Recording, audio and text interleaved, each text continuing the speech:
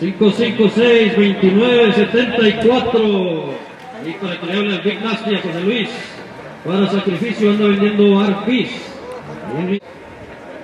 Carrera en 250 yardas y se hizo tercera.